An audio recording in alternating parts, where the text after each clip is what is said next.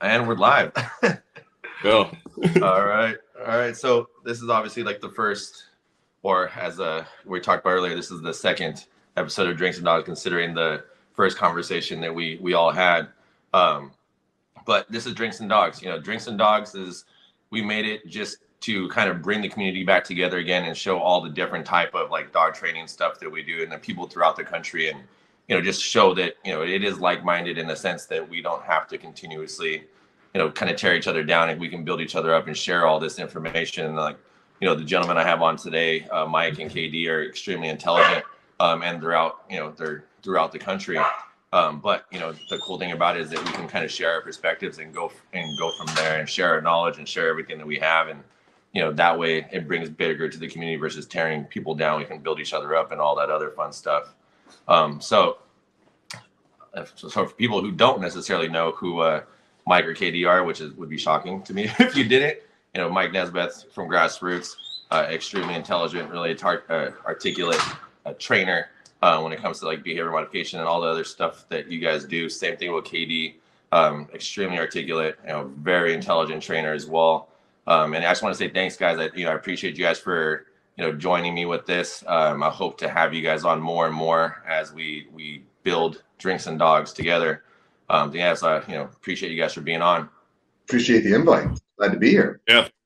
Thank, thanks, thanks for having us for the first one too, man. Yeah, man, this is this shit's fun. I'm This is a cherry breaker right here. yeah, this is the fun stuff. Uh, I'm pretty pumped with it. So uh, before we get started and you know talking and everything, um, I have to say thanks to Ray Allen, uh, one of our sponsors. Um, if you use the drinks and dogs promo code, you will get 10% off. Also, thanks to where's my thing at? Uh, Margaritas to go. Uh, they they got a new tequila coming out that has been sponsoring or is going to be sponsoring Primal Cannon, and that's what we have here. Um, it's the dude with dreads. So, and I have a dude with dreads here. So There you go. Perfect. Perfect. so it all it all works out uh, well. Um, so yeah, guys, I mean, if you guys want to get started on some questions, or let's talk about actually how you guys doing with the whole Corona thing. Let the Canadian go first. There you go. We're doing all right. You know, we're we're we're staying at it. Uh, you know, we, they we make just, Corona uh, cans. right in Canada at least. Hey, Um, we're we're uh we we transitioned to quite a bit of virtual training online stuff. Um, we have a, a kind of a virtual video library right now uh, that you know trains specific behaviors or helps people kind of work on work on loose leash walking with their dog. Um, the, the cool thing is is that we have um, it broken down into a few different uh, areas. So we have a working dog area uh, where we focus on everything kind of working dogs, tracking, detection, bite work. Um, then we have pet obedience, just regular obedience, as well as uh, kind of a, another section that's specifically geared towards puppies. So we've been kind of moving a lot online, uh, but other than that, regular schedule programming. Nice. Are you, is uh, how's like the law enforcement side working out for you guys with all this stuff? Uh, it's a the hard part is is getting dogs in right now. Um, but you know, a lot of our at least our local guys, they're you know, admins have canceled their their monthly training days. Oh, damn. So everyone's kind of spinning their thumbs and waiting for green light to get started back. Uh, but other than that, you know, we're with the dogs that we have here, we're still working them up through the program. Available. Yeah, that's uh, and that's what like the getting dogs in has been a pain in the ass. I have two dogs out right now. I just can't can't even get it in the states. Yeah. All right, KD, how's uh Florida? You guys are opening, right? Like you guys are already open. you know, I got to be honest with you. I don't have a fucking clue. Um, you know, what goes on outside of my house is of very little significance to me. Um, I think the biggest change in my personal life was the brewery that's a $4 Uber ride from my house was closed. Oh I mean, that was a kick in the nuts because, I mean, $4.87 on a Friday night Uber ride. I notice when that place closes. Yeah. Outside of that, I mean, it's a, you know, I guess the beaches were closed. I don't go to the beach. Um, I guess they are open now. Um, it, it- you know, as far as Florida is concerned and what's going on, no impact. Now, as far as business, um, I, I had to close down enrollment to my Canine Blueprint online training program, which I've been running for the past two years. I was doing the online stuff like way before Corona, and a lot, you know, you guys know that. Um, a lot of people who follow me know that, and it's been interesting because, you know, people changing their lifestyles, people now suddenly being home more. Well, they're interacting with their dogs more, and I've noticed either one or one of two things is happening. Either A, they're trying to be productive and positive and take advantage of that extra time with their dog and reach out to me to find out more information about my program. Or B, now that they're home with their dog more, they're seeing how completely out of control the dog is and how they are unable to manage the dog's behavior, which has them reaching out. Um, needless to say, uh, closing enrollment to my program was not something I anticipated I was going to have to do.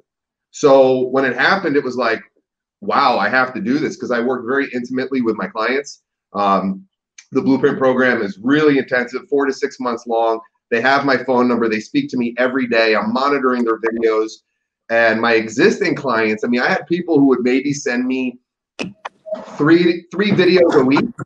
They're sending me eight videos a day because they're home. Yeah. And and the, the terms of the contract is I don't limit what they send me. You send it to me, I will coach you, I will provide you feedback. Well, I mean, some people are getting their money's worth, man. Let me Yeah. tell you. And good, good for them. Good for them. Um, I'm proud of them. So, what it has done is, I believe, pressure is a wonderful catalyst for growth and everything we do. So, the pressure to accommodate as many people as I can what it's done is it's allowed me now to put a little bit more time into creating a new program that will be a little bit less of me and it'll be self-paced people can work through the modules. Um, i've seen a lot of value in providing online education for dog owners because i don't do online dog training.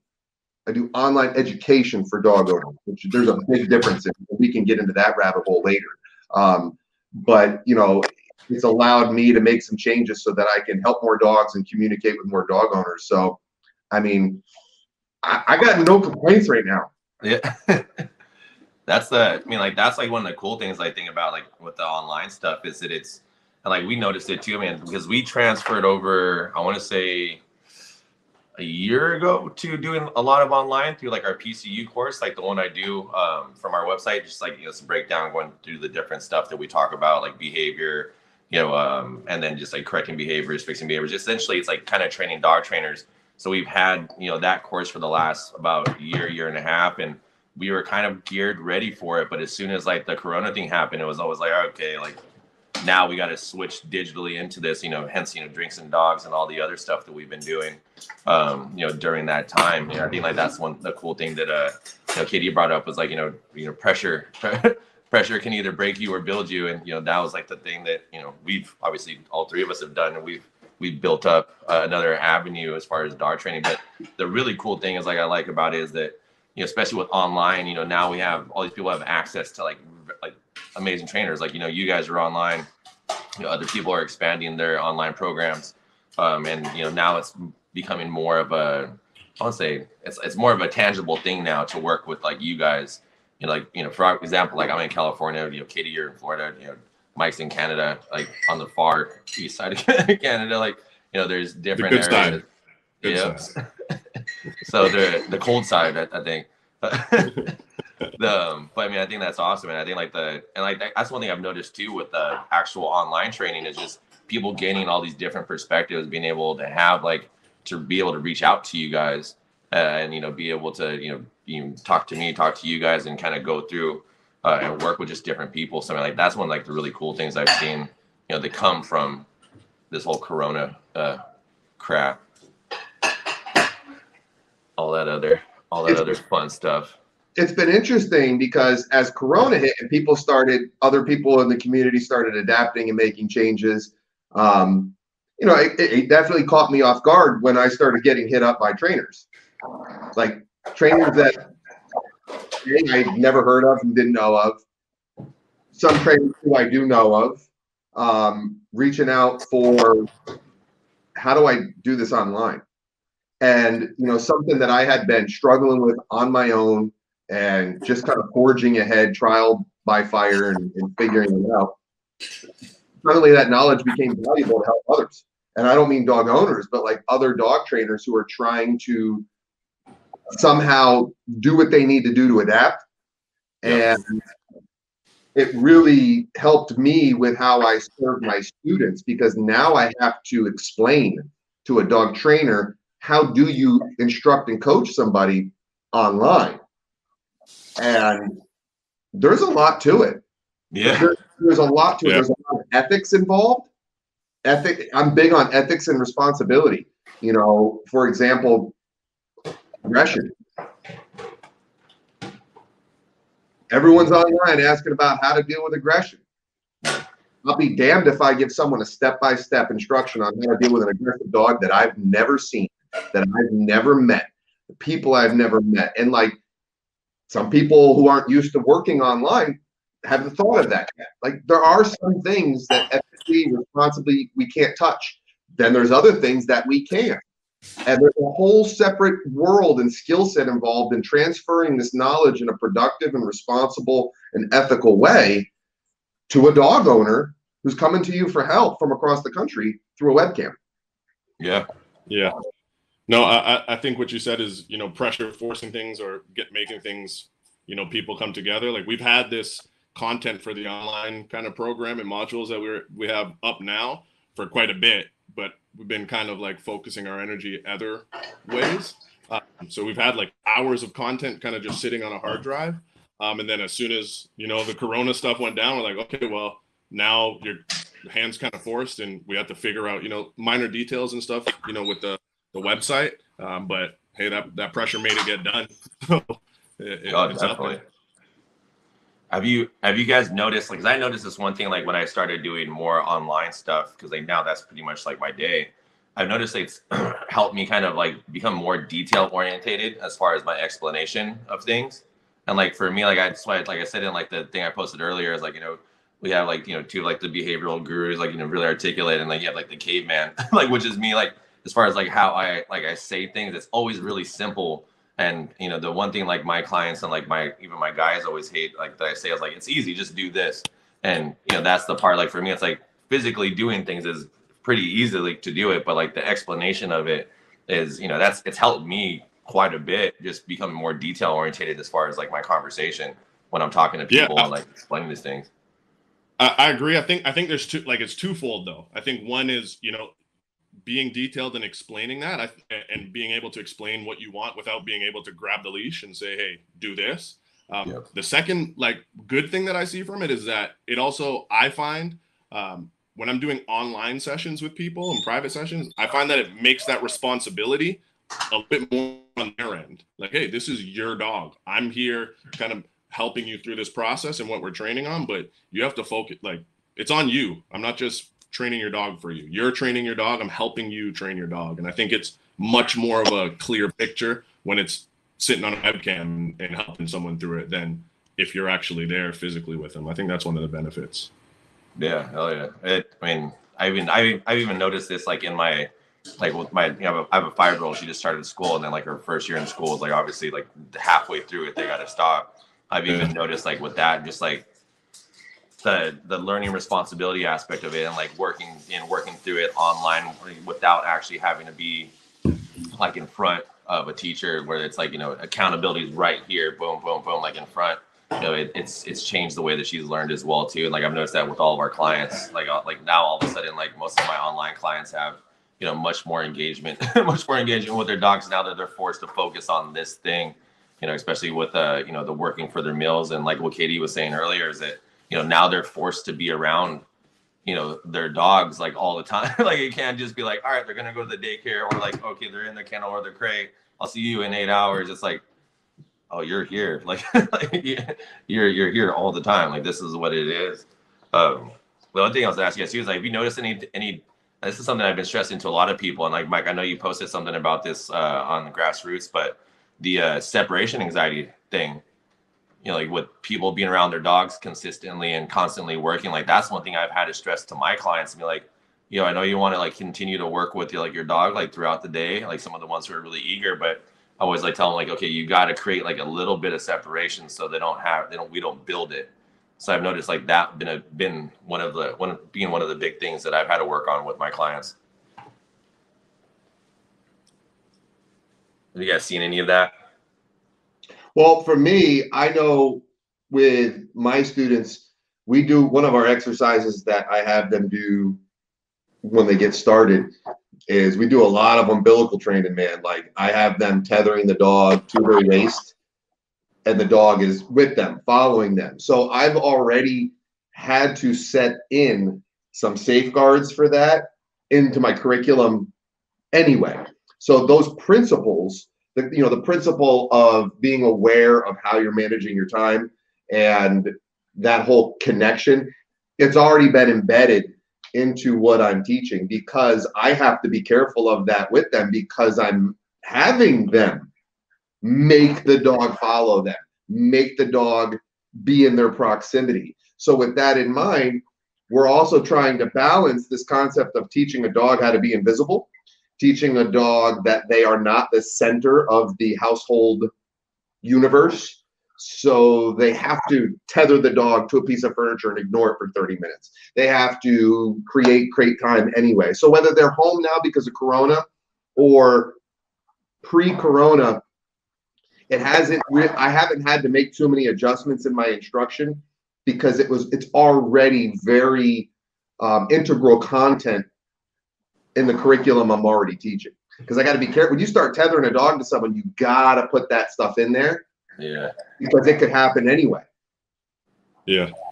Yeah so i i kind of we made the post on grassroots not that we've been seeing it a lot yet or, or issues with it happening uh, but we try to give our, our, our, clients like the heads up, you know, and, and, give them trying to be preemptive and stay ahead of it before it becomes a problem or potentially can become a problem. Just like, hey, make sure that you're you're still uh, building these boundaries and these safeguards around what's happening with your interactions with your dog right now. So giving them their time, uh, you know, away from their, time, their independent time and not letting them have expectations of if you're here, I'm with you um, the entire time. So nice, nice. We've had um, so I don't know if you guys probably seen some like the posts we have, but I have like tiebacks like in my in my house, like for like my dogs to go like in their place commands. I've lit I think I've literally probably I mean that's got to be like close to like two dozen people. Like, look it, I installed a tieback in my house like for my dog to go into his place command. I'm like, great, that's awesome.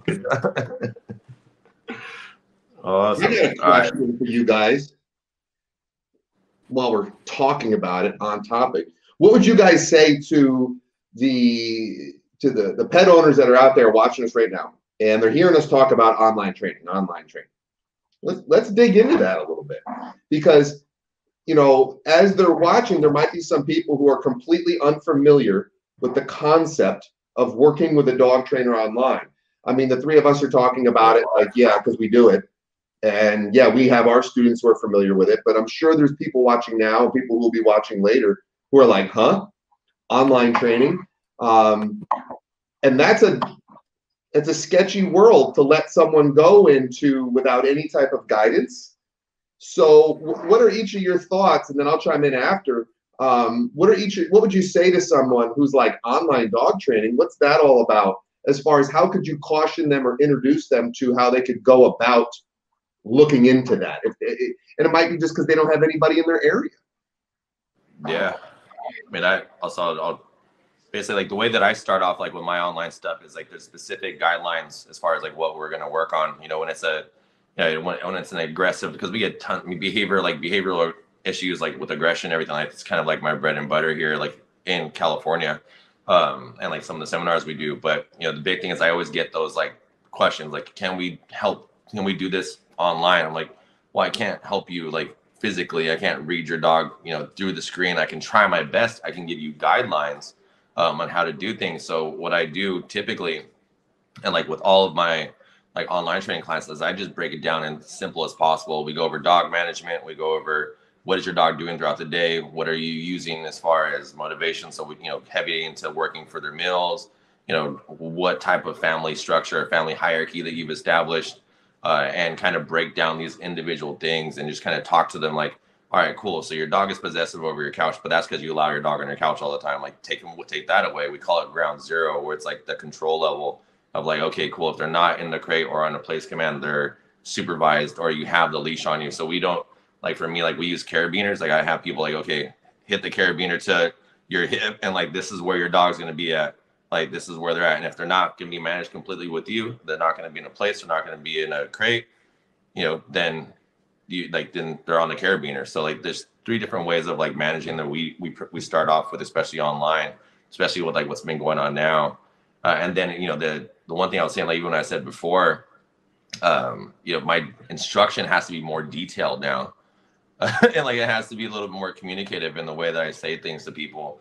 So I mean, there's obviously limitations like that I've learned, um, you know, doing online. Like you know, I can get to some fairly basic reactivity issues. I can get through some obedience. I can get through some other things, but for the most part, it's just kind of figuring out what always like what the issue is, and then kind of just giving them the baseline of what to do, and then try to help them as much as I can throughout the program uh, to get to their goals. But like you said, there's limitations uh, in certain aspects of things, uh, and I would say even limitations, limit limitations, it's more responsibilities in certain aspect of things. Like if I have a a dog who's like been mauling the shit out of people, like I'm like, okay, like we probably this is probably something that needs to be done in person because I don't think I'm gonna be able to like, you know, teach you how to handle those things uh online. But you know you can kind of get away with certain things when it comes to like the management and just switching up basic things because a lot of times you know when you tell people like oh like i said like i mentioned the couch thing like oh my dog's possessive over this part of the couch well, why the fuck is he on the couch like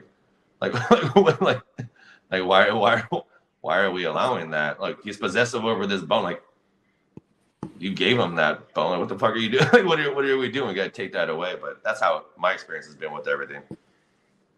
Yeah, I, I would say uh, if we're kind of cautioning you know, it's a, it's a great tool, but uh, like anything else, it's also the internet. So there's going to be, unfortunately, a lot of garbage out there, um, and you're going to need some kind of guidance to get through that that garbage. One of the easiest things that I would recommend to people is, hey, if someone's offering you online training or online services, um, that person should probably also have quite a bit of free content that you, that's available for you to see and view um, and kind of go through on your own. Um, that's one thing that I would I would say.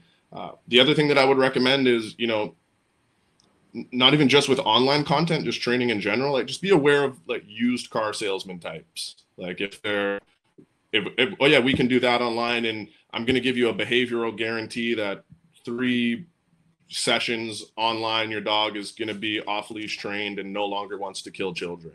Like anything that generally sounds too good, uh, probably is. Hey, can you but, shoot you me know, the link to that? Because I, I want to sign up. Yeah, yeah me too. me too. Um, but you know, view their content. Um, if it is good, um, there should also be other people that have done it and, and can tell you, give you their feedback. Uh, it, there's a lot of good stuff out there uh, online. There's a lot of crap out there.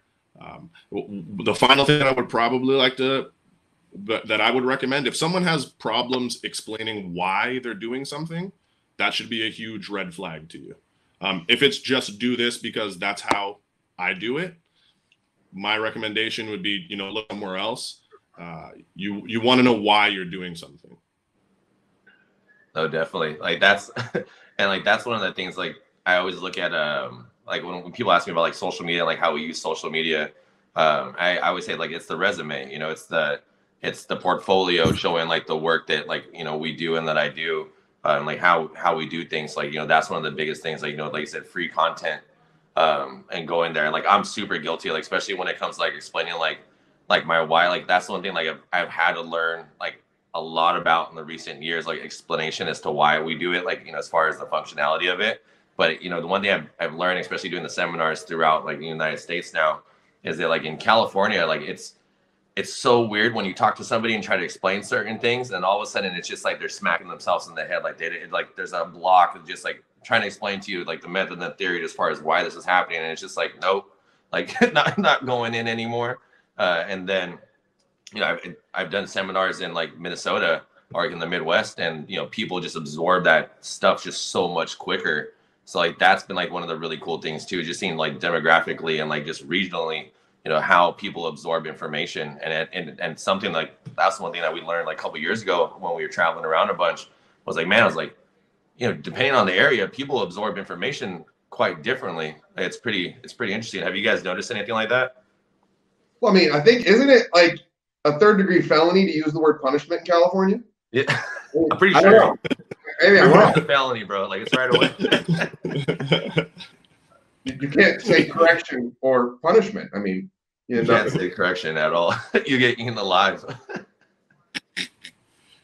KD, what what would you advise? Um, you know, potential people that want to check out some online training. man i gotta say like it you summed it up man like i don't know what i could add to that that was pretty solid because it, it's it's really just about making sure that people understand the same things that if you were to, if they were looking for a trainer in person. You know there's there's certain things that they have to look for. Um a big you know being able to answer questions is important you know and if they get mad at you for asking questions like that's a temperament test right there. Um anyway uh you know if specifically now folks that'll be for the uh behind the scenes behind the curtain podcast.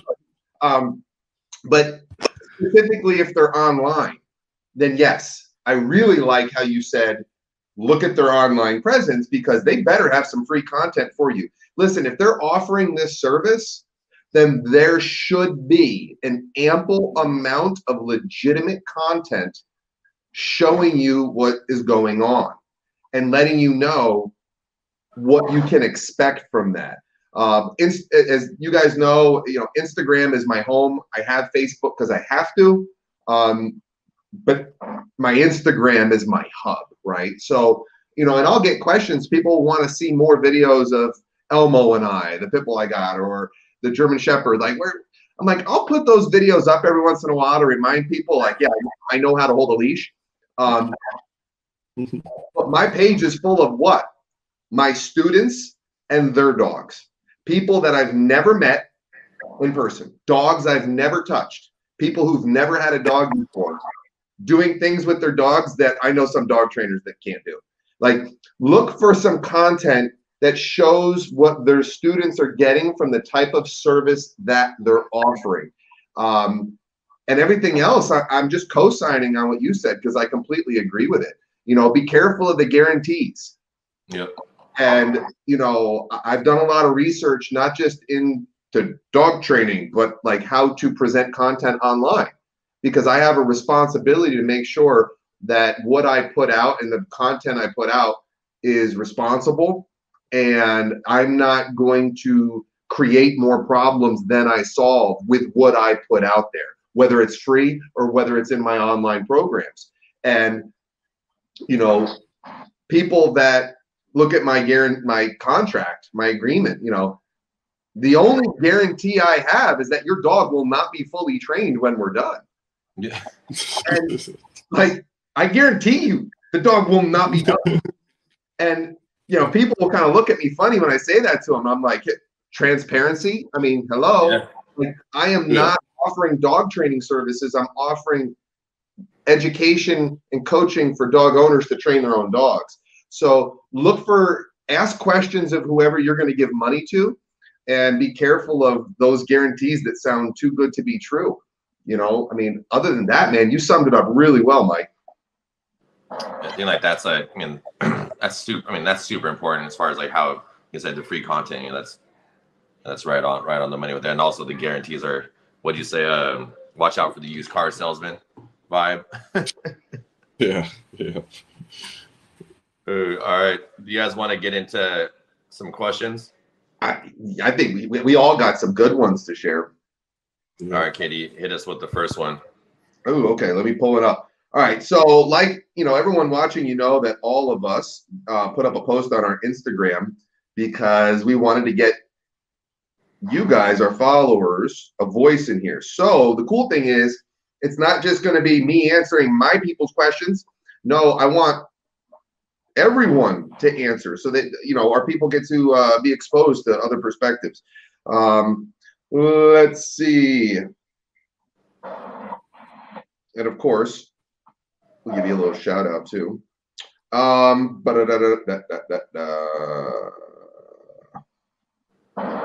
all right, here we go. This is from Tempting Kate. She's not just one of my followers, she's also my Canine Blueprint program. So I'm super proud of her for asking this question. Um, what is the veterinarian's role in helping owners pursue dog training and behavior modification? Awesome question, Kate. Nesbat, take it home. Get us started, man. Yeah. Um, I think that uh, it, it's a, a vet's role to. I'm trying to think of the best way to say this.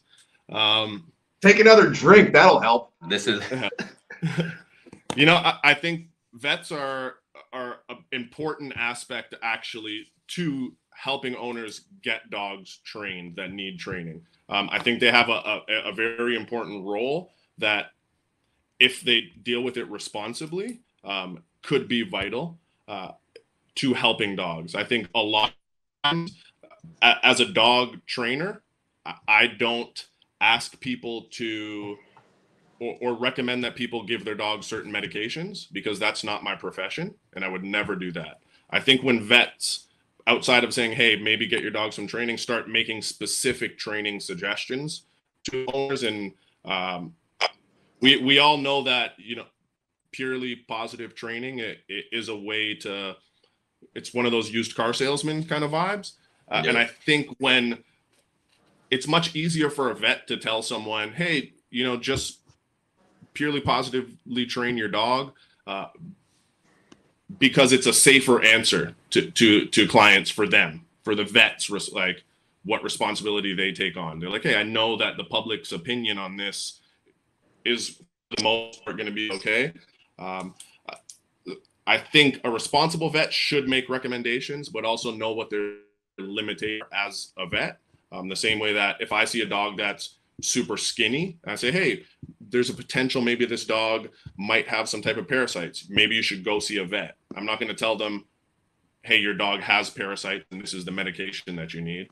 Uh, but I will recommend them taking their dog to the vet to get the vet's opinion on it. Um, the other thing that I, the other bone that I have to pick with vets is I think a lot of times a vet is really quick to prescribe medication for behavioral issues that don't necessarily need medication uh, because I, don't know what their motivations behind it are. Maybe it's a, a, sale. You know, I wouldn't like to think that because I, I would want them to be ethical.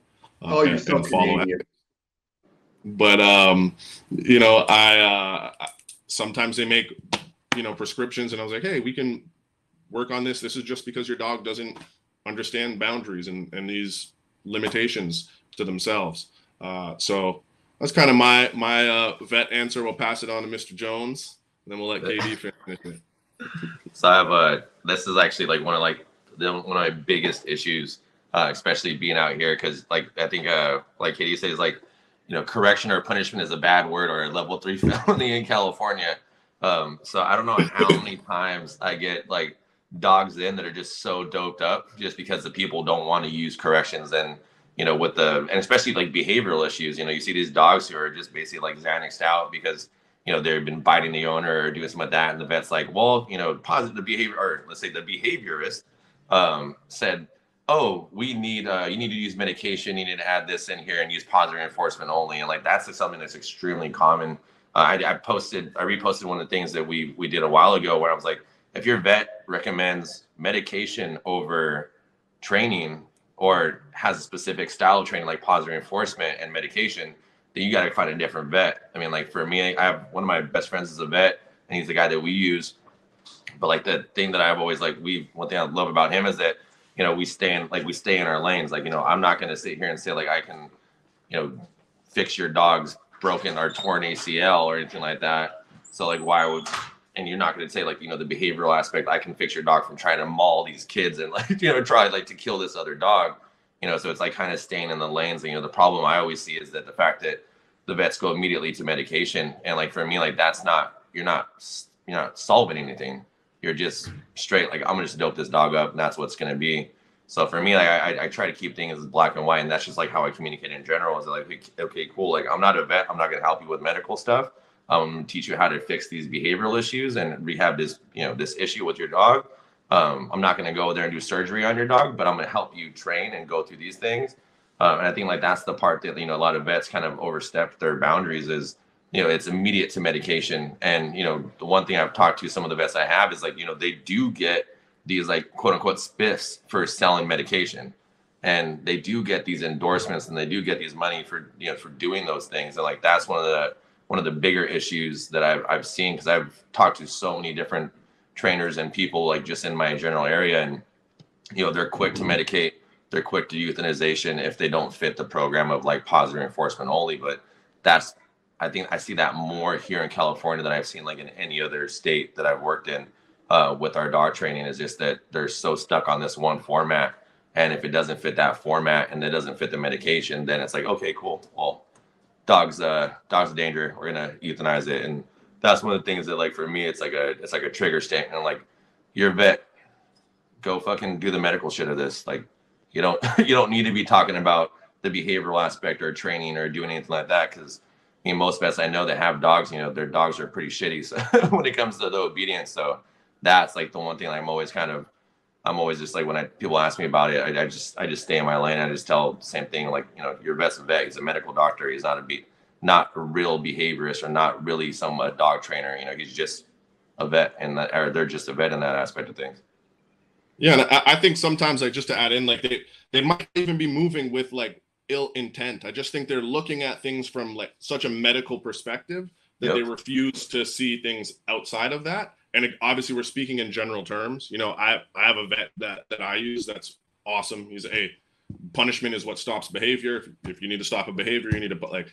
There's also those vets, um, but you know, just in general terms, I think a lot of times they get locked into medical, like locked into this medical mindset, and it's how can I solve this dog that has anxiety? You know, dope it up. How can I? And it, instead yeah. of taking a step back from that what's that um what's that term that like positive reinforcement people use all the time? Science science science-based training or something like that? Scientifically based training don't get me started man. KD that's a trigger word. It's got a trigger word man. It's like it, it, there goes they, the vein they, they feel bad when you correct them. Yeah no shit. Like they feel good when you give them treats. Duh.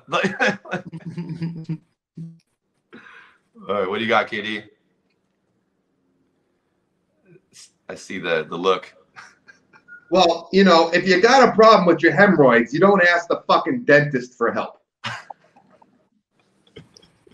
you know, you know, you might want to like the proctologist should stick to the asshole, and the dentist should stick to the top end where all the other shit comes out. You know, so when a veterinarian starts giving training advice when they had three days of PowerPoints of completely cultivated information they they need to recognize their role. And you know i was listening to mike warming up with the answer and i'm like okay where, he's so polite. Where's he going with this? You know and like all right mike let's see what you got.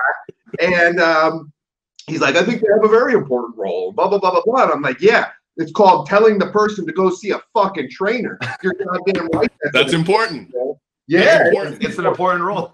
it's a really important role, and and that's what the veterinarian's role is: is to be honest, be transparent, provide medical advice on anal glands and bowel impactments and things you're, like you're stuck on the butthole right know, now, man. I was about to say the yeah. same because this is bullshit. KD's really why. focused on the butt stuff right Yeah, because this topic is full of shit. So, you know, I thought it was appropriate. you know, you know, you're, you're medicating dogs that haven't been trained. You're pacifying owners who, who are clueless and coming to you for true advice. Yeah. You know, I and and Nesbeth was right. I, I mean, we do the same thing. I get veterinary questions all the time from my students, and I I'm quick to say, Whoop, Yeah. talk to the vet. That's one for the vet. That's a question for the vet, and it because it's not my place to make that type of assessment on something that you know I'm not clinically trained in. Now, yeah, I got years of hands-on experience touching and working with dogs. Great. Is there some medical stuff I know about a dog? Yeah. Is there stuff that the three of us would talk about offline as to how to solve problems without going to a vet? Yeah. Are we going to do that professionally, um, responsibly with our clients? I don't know. Yeah. So the vets need to follow suit. And and for people watching, here's a great piece of free advice. If your vet starts throwing pills at your dog for behavioral problems, smile politely, pick them up, and leave. Yep. And KD meant pick up your dog. Don't pick up the vet and leave. Just pick up your dog and get out of there from there. I mean, Yeah, that's like, and that's like that's one of the issues like I've had a lot with over here is that you know throughout the years is that because the dog like they're a vet, they're a doctor, you know, all of a sudden you know their word is gospel to like these pet owners because they you know pulled a foxtail out or fixed a suture or did something. So like now, and like this is the thing too, like even within dog training is that like they're specialists in that one realm of the dog. They're not necessarily specialists in the all realms of the dog and like all things. Like even like in dog training like you have people who are very good at specific things uh, and then people who are like okay at other things. So it doesn't all tie back into the same stuff but because you know they're a vet and they're a doctor um, you know it it carries more value to them from what i've noticed. Um, and like that's been a big combative thing but you know exactly what you guys said well, when you go to your doc, when we go to our doctors, right? We go to a general practitioner. Yep. Like I, I, I and you know, Jones, I know you you can probably relate to this too. You get a sports injury, you don't go to the GP. no you know, when I get an injury from jiu-jitsu, you know, the last I don't want to go to my GP who deals with such a, a, a, a diverse assortment of injuries and nonsense. They can barely scratch the surface of what you need. Like, no, I'm going to a sports orthopedic person or someone who deals with athletes or someone who's specializes in those type of injuries, not someone who deals with like 80 year olds with bad hips. Like, Yep. you know, so Yeah, what and, and it's the same thing as w- with the dogs there, right? If you go there with with that injury, then they're probably just gonna say, "Hey, here's these pills for the pain that you have, or here's the pills for the anxiety that you're suffering from now," right? Where it's, it- it's kind of band aid solutions. And again, there's a really small, small percentage of dogs that may need medical treatment for some type of something tied into behavior. Um, Yeah. But it's so small that it, the numbers like not even worth really mentioning. Uh, like training and, at least begin and start training and see if those things are, are helping before you end up. Don't just start there with medication. I think that's the wrong move.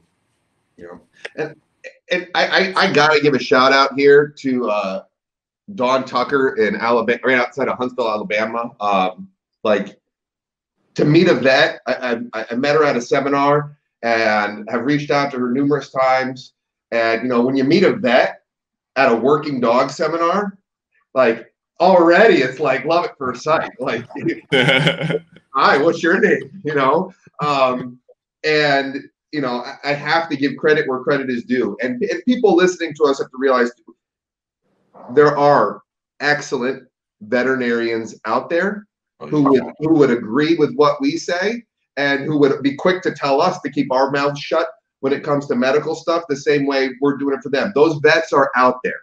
They are out there. And like I said, shout out to Dawn Tucker. Um, you know, it's just finding them. And for those those pet owners out there watching, you know, that that's what we're hoping that we can help you do is give you some tools to be able to find a good vet some diagnostic tools. Like if you hear this, you should be concerned. If you hear this, maybe you should ask some other questions because there are really good, responsible vets out there who do take that role very seriously of being able to defer something that's out of their expertise somewhere else. You just got to find them. And, and when you Yeah. do find them, hold them dear and close because that's where Yes. gold is. Hold them. We have our Yes. vet that we use, and that's that's where we'll continue to use um, because they're they're hard to come by. So when you do find them, keep them That's like- close. The same thing. Same thing with dog training. When you when you find the good ones, you, you stick with the good ones. exactly. All right. So here we go. All right, Mike. Do you have any questions? Yeah, I have a, a question that's from um, Pink Boy Bruno. It's it's um dog aggression versus dominance. What is the difference in terms of mentality? Okay, do you want to go first on this one? Yeah, I'll start out by saying most people like we we got to define what the hell dog aggression is. Like Yeah. right off the bat, as soon as I hear that question, it's like okay, vocabulary lesson. Like people, my perspective, my current position. I'm very I like to use those words because it leaves me a way out tomorrow.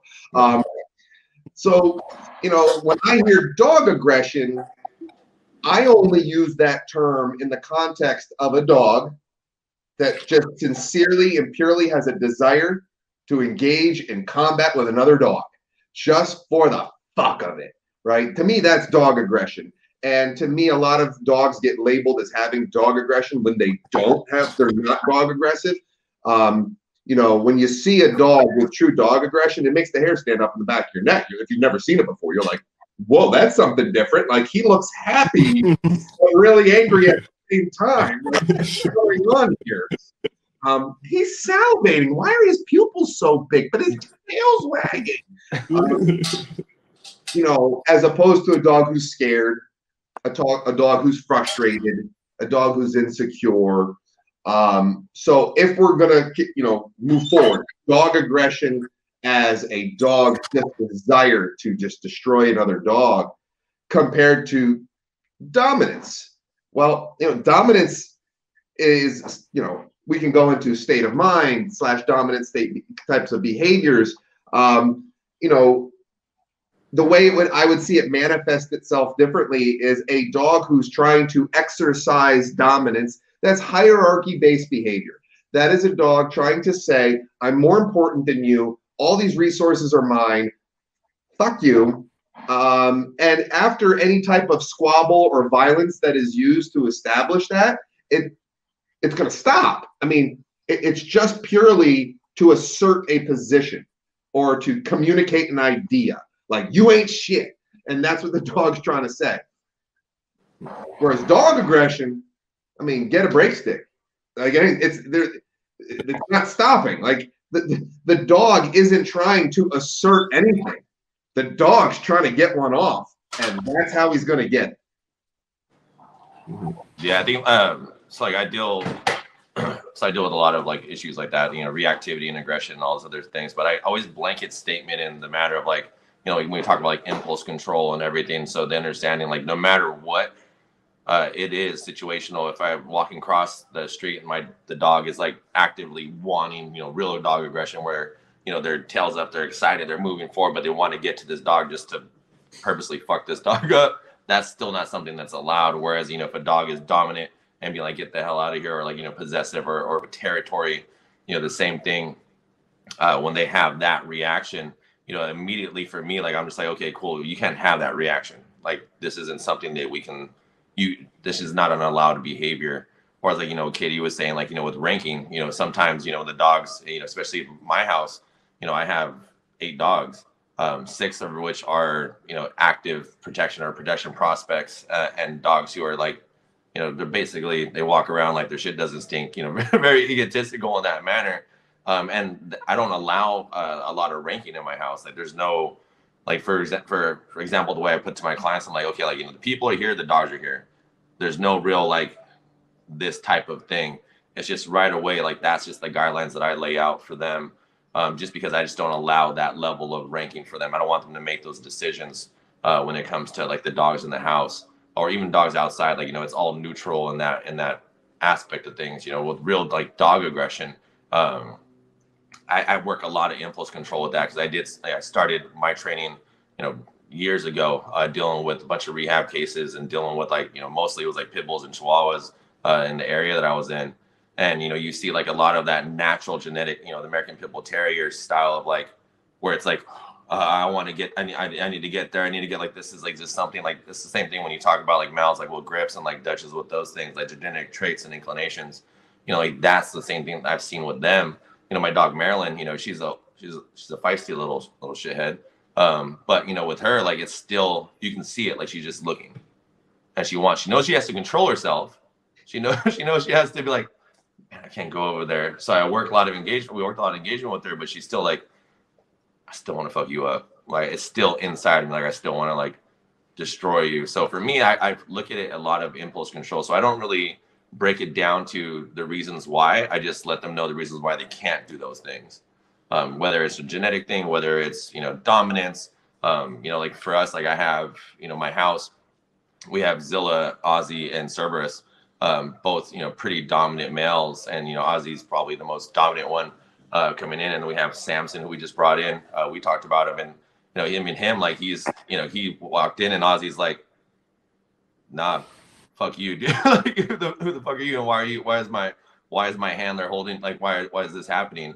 So you see the difference, like as far as like the ranking, but it's still stuff that we just don't allow, like in our own, uh, like our own household, and that's stuff that I tell like all of our clients too, because you know where we where we live, everyone's really condensed, uh, and everyone's really like on top of each other as far as like where housing is and everything. So all the time I tell my clients, I was like, you know, it's like, well, we don't. That's not a behavior we want, right? Okay, cool. Then we correct that behavior. We focus more on the engagement creating that social neutrality uh, and creating like social etiquette too. Speaking of Ozzy, there he goes. yeah, I, I, think like my opinion on it um, is you know, dog aggression. It again, it goes to the terms. Um, you know, for me, dog aggression is something that's there, uh, and that intent behind that dog isn't going to change. You know, we we can kind of you know manage it but yep. that's going to be there. Dominance, uh, and, and, specifically in regards to other dogs, uh, you know, I, I, think is also just part of a natural communication between dogs. You know, you see some dogs that um, will be a little bit more dominant to dogs that aren't showing the right behaviors while they're engaged, like playing with one another. Um, I, I think that part of it needs to be, you know, like that's way that they can communicate with one another. Um, but all, all in all, I think that they they're two separate. They can be two separate things, and usually they are. And more than likely, um, you probably haven't seen what true dog aggression is. You're probably seeing reactivity or or or something something other than true dog aggression. More than I may be wrong, but more than likely, that's probably what's going on. Yeah, well, that, too, a lot of people I don't think have seen true dominance. That as well yeah you know even more so i see all the time people use the word i have a dominant dog oh my dog's the alpha of my pack and oh, it's like okay you're you're forbidden from using that word um, I'm taking that word and putting it out. No more alpha for you, sweetheart. We're, we're, gonna, we're, we're, gonna, talk a little bit um, because they don't like you. They don't get it. Like yeah. the, the, words alpha and, and dominance and like your dog They're isn't around. Yeah, you just throw them around. around you have a dog who senses a vacuum in the leader in the leadership in the home, and it's kind of stepping up to the plate to feel things out. That doesn't make it a dominant dog. If you well, that's that's one thing I wanted to chime into like that too is like a lot of that stuff I've seen just for the amount of dogs that we've trained and we work with. I mean, all that stuff is created, you know, like the dominance and the hierarchy and the ranking, like it's created by the owner. Like kind of what like KD says, like well, this one's the alpha in you know in my house. I'm like, no, no. Like, and if he's having these issues, like I let him do this, I'm like, well, that's why he's doing that because you're allowing this, you know, social this hierarchy issue. Like you're causing, you know, a lot of rank stuff, and like I, I see that, you know, especially like you know that 18 month to three year age range when they go through that ranking drive you know, a lot of that stuff when they start pushing and starting to develop and come into those things, like you see a lot of these issues just pop up, and I'm like, a lot of that is loud, uh, allowed, you, and you built that because you had that mindset, like, well, he was here first. This is the dog I want to, you know, be here. Like, so you're causing those things, and dogs being, you know, those pack animals, you know, they're going to continuously test, and it's going to continuously build. So the allowance of ranking, allowance of you know showing dominance, allowance of doing all these things is going to create this big episode. And like that's well, all my clients, people who come to me, they're like, well, all of a sudden one day you know, Fluffy just mauled the shit out of Scruffy, and now we've now we now we're at the bed. I'm like, forgot you forgot the other. It's out of nowhere. Out of, out of nowhere, nowhere, yeah. he just turned. Yeah. Out of nowhere. Hey, I, I, gotta run and take a piss break. You guys continue. I'll be back in a second. so we now we're on the bottom end of the human scale. We talked to KD about pooping, and now we're you know talking about peeing with um with Nesbitt. That's what he gets for drinking that cheap beer. The, the death beer, the Coronas. Oh my god, dude! But like that's one thing that I've, I ran into a lot. Like you know, especially when when we talk about like you know natural aggression, uh, natural you know dog aggression in general, and like you know what it is and natural dominance. You know, I think a lot of what we see now is at least what I see on my side is you know the dominance for the most part. You have dogs who are dominant, but I think a lot of it is allowed and is created Whereas, you know, when you deal with, you know, aggression, you know, natural aggression, you know, that stuff that is genetically in there, like kind of what Mike was saying, uh, is that, you know, a lot of it is it's you can manage it and you can create impulse control, but will that dog always have that level of trigger? I mean, it's the same thing as people. Some of us are going to be a little more aggressive than others, and it's in, in the genetic code of, in that sense. So, I mean, it's learning how to communicate and control those things. Well, the whole topic, you know, of understanding hierarchy and dominance. You know, the, listen, really good working dogs wouldn't be so expensive, and breeding programs wouldn't be working their balls off for years, for decades to create dogs with a genetic profile where they think they are the biggest, fattest creature on earth. Like yep. if alpha dogs were so common, departments and dog brokers wouldn't be going through so much to try to find a dog that truly feels it's superior. So then what is it that all these pet homes have? Well, they have dogs. And that's the thing about understanding a dog and where, you know, and I, I go over this, we get into it. And I talk about dominance theory, where it came from. It's debunking and all of the misunderstandings and misinformation about some very real things. And the way I like to explain it is this. All of us, well, most people have had jobs other than what they do now. Uh, you know, it's like if you're in sales and you got like the lead salesman on the team, he gets promoted to sales manager. Well, just because he was a good salesman doesn't mean he's going to be a good sales manager, right? Those are two completely different skill sets. And I'm sure, you know, switch the job role to whatever floats your boat, you know, whoever's, you know, to you watching. Um, but if you've ever worked for someone or witnessed somebody get I hope you washed your hands, Nesbeth. Um, Didn't have time. Um, you know, someone who gets a promotion for reasons other than being a good leader. We watch how they fail. They either become really permissive and they, they suck as a leader, or they become tyrants because they can't handle the pressure. Listen, that's where the majority of dogs are. They are in a situation where they have been given a promotion that they weren't qualified for. And that's through the owner just not knowing. There's a leadership vacuum. The dog has not been given guidance. It's not that the dog wanted to be in charge. It's that they're programmed for survival to, if no one else is making good decisions for them, they will absolutely make their own. That yeah. doesn't make them an alpha dog. It doesn't mean they wanted that job. It means they got a promotion they shouldn't have gotten.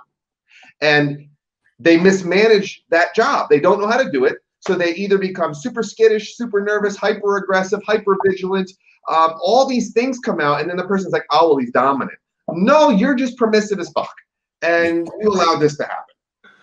It's, like to tie into that, like with the um, like we talked, you know, we said basically that's that's all allowed, and like whatever like the owner does is what creates these behaviors. You know, the one thing that I, I always talk to like my clients about, it's always like, okay, you know, it's they say like, oh, you know, I just let him be a dog. I just let him be a dog. I just let him do this. I'm like, you know, what is a dog? You know, these dogs were bred to be dependent on us, bred to be biddable. We have all these things that we want them to do, and this is why we created them for all these things. But when you go into that aspect of like thinking like, oh, hey, they're a wild animal. Let me do what the fuck they want. You know, they're gonna make their own decisions. And typically, if a dog makes its own decision, it's probably not to be the best decision. Um, and you're probably not going to like what happens from there because they are going to go into that that state.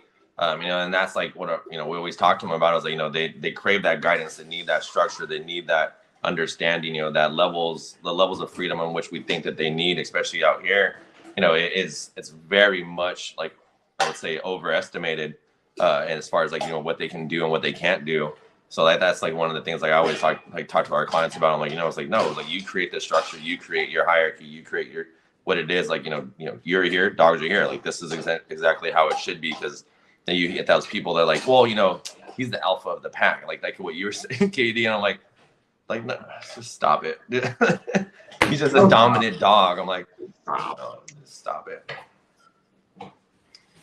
Awesome. Um, So much fun with that one. It's your turn, isn't it? Yep. So I'm trying to cycle through these things because we got a bunch of them, but I think this is a pretty important one considering you guys all have your own businesses uh, in you know in dog training and successful with it. Um, so from yours truly unpredictable is what would you recommend for to a dog trainer opening their own dog training business? Hey, can, can you repeat one. that again? Can you can you repeat it again? Just broke. So this is uh, what would you recommend to a dog trainer? It's basically a young dog trainer that's trying to open up their own business. That's um, I, I- I'll start it. I go. think without without knowing who who it is, um, that question is going to be really hard to even answer. Uh, because what I see with young quote unquote dog trainers is like that's a that's subjective. Like what is a young dog trainer? What it means that you're you're new to this. What means that you've been in for in it a long time. We've had countless amount of people uh, come here uh, to apprentice and learn under us for a month and a half and then go away and, and open up their own dog training business.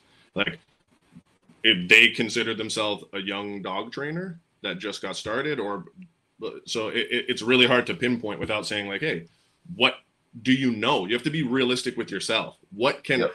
if, if I'm not comfortable in creating behavior and, and reliable behavior and instructing people how to do that, um, I'm not comfortable to take someone's money and d- to do that. If someone, I, I can't have someone pay me um, if I, I I don't have the information or, or the ability to. Okay, I know that you know step one is this and step two is that, but that's we all three of us know that there's no step one and step two. Like Yeah. it's gonna change. So just because you've done it with two or three dogs before, that fourth dog is gonna give you a run for his money, right? You have to first, and, it is huge on this. You have to understand the principles of behavior and and how you apply those principles are going to be different per each, you know, per dog. There's going to be, but if you understand the principles and theory behind things, then you can start moving into, you know, opening up. Uh, depending on again, like I can't really answer, give like a hard, solid answer and say, hey, you know, do this. That's kind of that's that's how I would go about it. What do you think, KD? No, I mean that's that's good answer again, man. Like I agree with you. It, it's you, you know, and maybe to phrase it differently, accept. There's a number of things you have to accept, and I think probably the first thing is that you need to be a student for the rest of your damn life. Yep. I don't, you know, accept the role of student, and the teachers are going to be dogs and hopefully other seasoned you know proficient older people who will tell you when you're fucking up.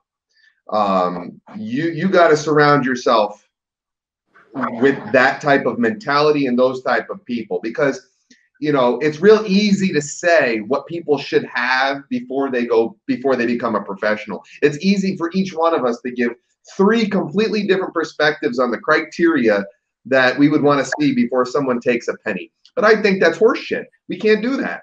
That's not right. because everyone's got to start at some point. Everyone's got to pull the trigger and take that first dollar. And I, I'm not going to judge somebody on making that leap. I will judge them on what they're wearing when they make that leap, though. You know, okay, you- you're going to jump in, and, and sometimes you, we all know that the best teacher is going to be the dogs, right? And and I'm big on principles and theory. I, I, it's essential, but the, you know the rubber's got to hit the road at some point, and then you got to get out there and grab a shit ton of leashes and see a shit ton of dogs. So once if someone's going to make a job out of it, and there's let's say there's no one else around in the area, and they're like, you know what, I've trained some dogs. Let me try this. That's fine. Remember, you're always learning. Be honest as hell with yourself, let alone your clients. Realize your limitations. And the only way you're going to know your limitations is if you somehow can connect with some honest folks who are going to remind you of them constantly. Um, man, like pace yourself, pace yourself, and be careful with the damn social media. Um, it's it's screwing everything up. Don't do stuff for the Instagram. Do it for the damn for the dog in front of you. Um, man, it's hard to say anything else beside that, because things are so different now than when all three of us picked up a leash for the first time. Yeah, I, I, and along the lines, I, I think there's just two that like you don't want to wait too long, and you don't want to go too early. You know, don't suffer from information paralysis and just there's so much for you to take in that you're never going to hold a leash. Um, because you can continue to read books and listen to podcasts for the rest of your life, and you won't make it 25% through the information. Um, you know, get the basis of what you need, and then you know time on time on the leash is, is pretty much what you'll do. If they're if you're lucky to have people around you even if the style that they train isn't what you like you know go go and, and if they'll have you out there's things that you'll pick up i promise. You'll take something away They'd be like hey i really like that. Or you're also going to take some oh i'm never going to do that or that's not for me. Um, get out there and, and that's how i would kind of Yeah, I mean, so the one of like the like the cool things like I like what I like talking to you guys about um, is that you know when I first started training dogs, I had no understanding of four quadrants. I had no understanding of you know theory and behavior. I just kind of understood like associative based behavior, and this is when I was like 13 or something like that, and I was working like in rescue, so I understood like oh hey the dog likes to sit, he gets food, or like you the dog wants to go and attack this dog, I correct, and like you go from there, like you learn and you. I, I started with a lot of hands on right away. Um, and then when I went into like Schutzhund, for example, I found a mentor who would actually work with me. Um, and it was just like all force yanking crank and like and seeing like the different perspectives and thought processes there. I was like, this is completely different than the other one. So like I kind of I learned through my mentorship and just seeing like you know the people that I worked with and the dogs that we're they were working with and just kind of seeing all these different dogs and like how they communicated and you know I mean before I even started Primal Canine I probably I mean I, I saw I saw thousands of dogs um and you know like the big thing for me like even before i even understood like the i would say the the theory and like the behavioral stuff like that like understood like the, the actual textbook versions of it and you know all that stuff i had touched so many dogs already that i was like oh okay that makes sense. Like that's what that that's what that means. Like this is what that means. Like this is why they did that but it was just so much natural stuff that i worked with. So i mean i think if you're looking to get into dog training obviously you want to use uh, you want to use as much educational information out there. Um, but I mean, I always tell people like, you know, find a mentor that you like their style, learn from them, work with them, put your hand like have them guide you, put you know, put your hands on leashes, make sure you're doing the right thing before you even start thinking about taking money from anything. Um, you know, don't do no what's that fucking bullshit college uh, ABC? Is it Oh. like what, what don't don't don't go onto that motherfucker and start all of a sudden I'm gonna start training dogs like because there's it, it, I do believe that there's a certain you can know everything mentally, you can understand everything on the education level as far as like you can read a book, but can you actually write a book? You know, type of a thing. Like, can you actually put those things down together? Um, so, I mean, for me, get some hands on and learn. You know, learn a method that you like. Conti- like KD said, you know, continuously learn. I mean, for me, like I, you know, I soak up as much information as I can on a daily basis uh, from any trainer I can possibly talk to and work with, and you know go from there. But yeah, I mean, for me, it's always going to be find a mentor, learn learn how they do that, put your hands on a leash as much as you can, uh, and then continuously learn. Yeah, I, I just wanted to add in to what you said um, about the theory and like when you first started off, you know, not necessarily understanding, you know, specific theories, uh, which is cool. Like I, I my, my story is a little bit different because I, I went to school for psychology without the intent of becoming a dog trainer specifically. Um, so I, I kind of had like a jump start on the theory, um, but I think regardless, like in the you know it's 2020, uh, having as a dog trainer having an understanding of theory and and how it's applied um, is extremely important. One for problem solving, but also two, we know like you're in California, and you know it's a third degree felony. You said to use the word correction. Um, so when when we're able to articulate ourselves and explain the full theories, not just little fragments of the theory, um, it it also doesn't it, it get it arms us with the information to be able to say, hey, this is why I train this way. This is it's supported by this, and I, am able to explain the pieces of theories that purely positive trainers are, are nitpicking at, and, and yep. it, it, you can articulate that, and it and it I think it's just better for the industry as a whole if, if, all of us are able to say, "Hey, look, this is why I'm doing it." This is you know that there can be sessions or you know a, a 10 second clip of a 15 minute session that makes a trainer look the best, most fair trainer in the world end up looking like a dirt bag. Yeah. Right.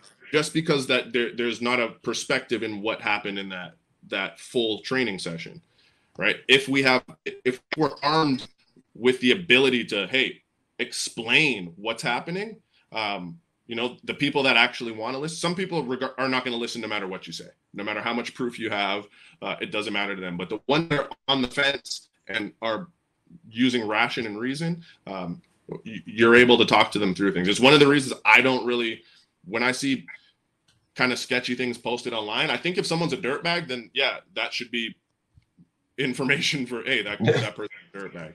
But when there's these little like you know clips of something that happened, I'm like I want to see like what's the full picture, what what happened here, what like to be able to to you know make an opinion or have an opinion on, on what's going on. Um, that's kind of just my my like I just added in a little bit about the theory why I think it's also important other than yeah. just training. I mean, I think it's I think it's so now like you know we've I've been doing this for a little while and Primal Canine is what it is and like now we have like this whole thing and like but there's a joke like so Erin who's like my girlfriend is the manager of like Primal Canine you know she's a psychologist and like when we first met like it was lit like we she talked about like the quadrants and everything like that and like for a second there I had to be like the fuck are you talking about like, like, like, like what I don't I don't understand that she's like and like I, I just thought like because when we talk when you talk to positive reinforcement people, especially when these like you know science based training and all this other shit, I was like, I was like, it doesn't make sense because like you know obviously like, as people like we have consequences for our actions. So why is everything going to be consistently positive? Like obviously if I do this, I get a positive reaction. That's great because like for me, like I'm an associative based learner just in general. Like it's how things go like with me. So I was, it was like uh, when we started talking about it, she started educating me on it. I felt like it definitely you know helped me understand how to deliver that information better and articulate those words like articulate that better versus before like when i would talk to people i'm like well you know when you you fuck about your work like what do you think is going to happen like you're going to get in trouble right like or you know you do something good you're going to continuously get this and like you know the removal of you know food and all this other stuff i would just kind of I, without you know trying to sound too cheesy with that i just learned in the most primal manner of doing things but I, having that like uh, education helps you know describe quite a bit. So I think it's like you know I think Eric Stambro like he said it perfectly like in one of my lives is like it's you know it's absolutely it's necessary for a dog trainer to understand what this stuff is, uh, understand theory, understand like the actual behavioral things so they can describe it and kind of arm themselves with it.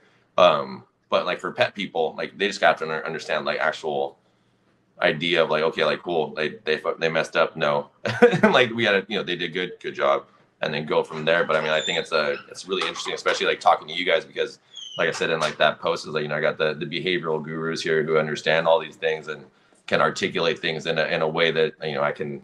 I don't, I don't think I'll ever be able to because it's always going to be a you know caveman stuff for me in that manner.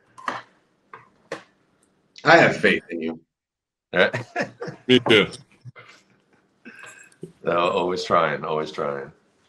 All right, kid, you got another question?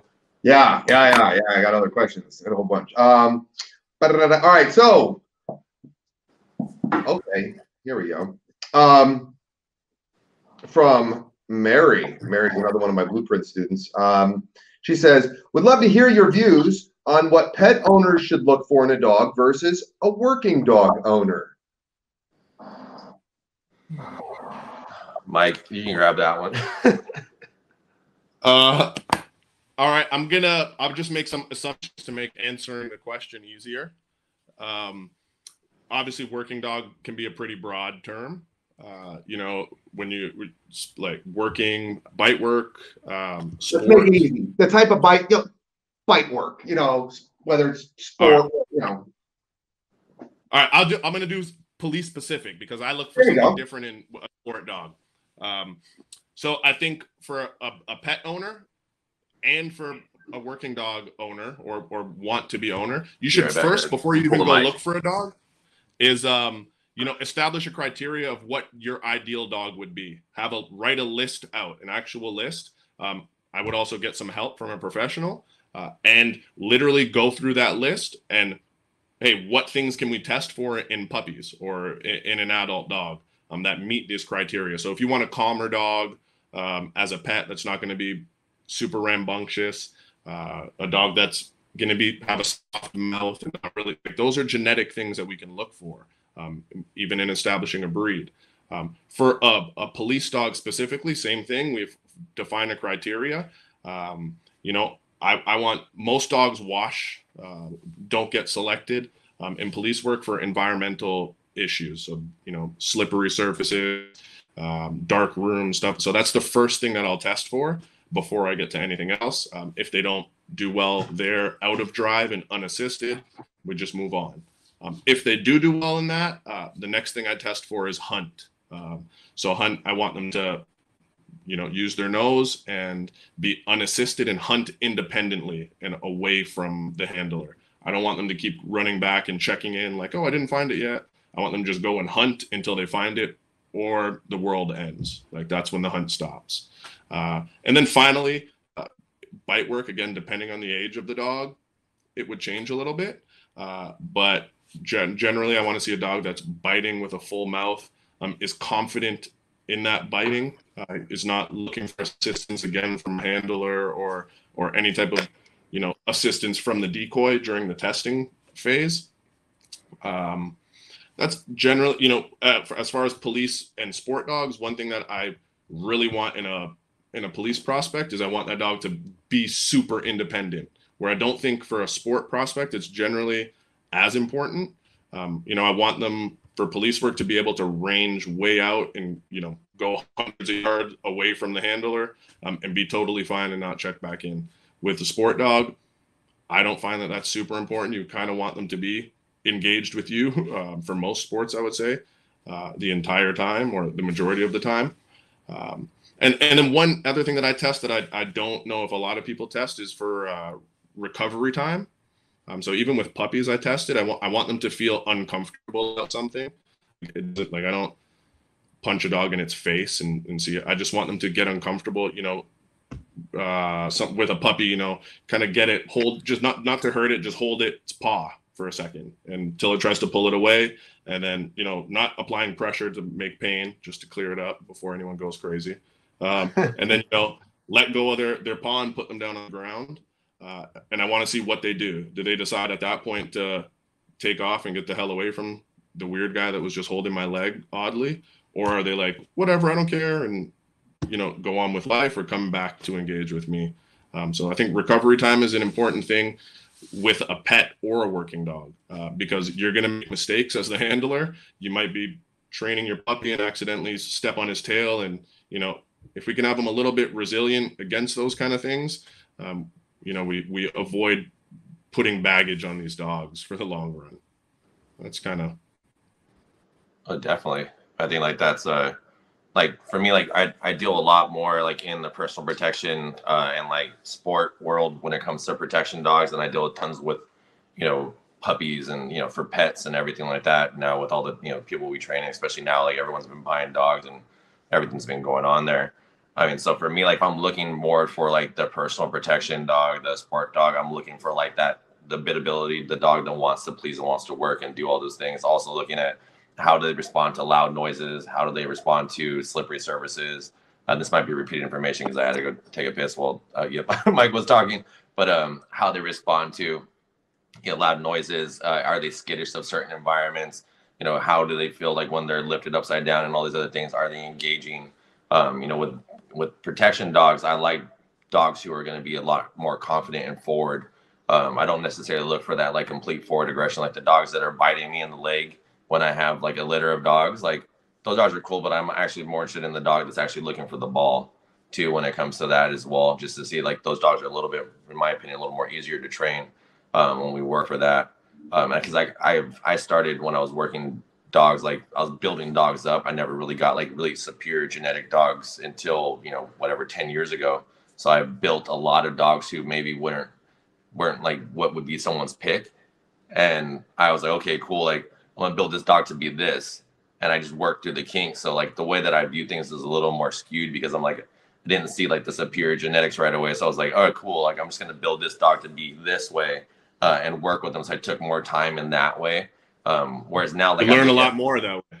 Yeah, man. Like now, I just look at puppies. I look at dogs. I'm always like, well, I mean, I can, I can make that dog work. like, I, like, and like that's like the thing. Like for me, like, like it's just something like I can. I mean, we we all know like Nino, for example, like you know Nino Duarte, um, STS Canine, like he's you know good friend, but he's he's very selective because he's a specialist in what he does. And like for him, like you know, he'll wash dogs out. Like for me, like I'll look at dogs. I'm like, we can make that work. But idealistically, what I look for in the dog is you know that that outward confidence. You know, when they come off the airplane or when I go visit the thing, like they're not like you know tail tucked running around like they're scared. Like I want them to be like you know what Mike was saying, like resilient and just being like bouncing back. Like oh hey cool. Like if I scruff them from the back, like just to put them up, put them up and put in the kennel or put them in the car. Like they're not running away from me. They're kind of just back next to you, like oh, like or just sitting there like nothing happened. And I want the the puppies that we get to just really just not give a shit and not give a fuck about anything like that's going on with them. Um, you know, when it comes to environmentals, you know, when I look at like the way that they view like the the new place when we come home, or like when we go into the facility, like when they go onto slippery surfaces, when they go into Home Depot, you know, if they're like, "What the fuck is this?" or if they're just like, "I don't care," you know, and like that's essentially what I look for, like in all of like the dogs. So we do a raise and train program here too, where we'll raise pet, we'll raise pets for people, and then give them, you know, give them to them like you know five months into it after they're you know two months with us or whatnot.